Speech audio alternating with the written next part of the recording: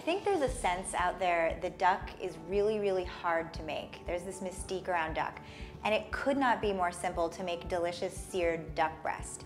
Here from Chef Jim Palmeri of Mohonk Mountain House in New Paltz, New York, we have seared duck breast with spaghetti squash, pickled onions, and a pickled onion syrup.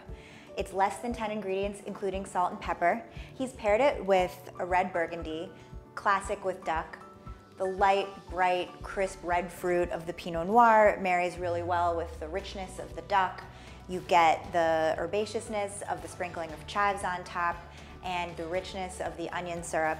It's elegant, it's classic, and the best part is no one's gonna know how easy this was.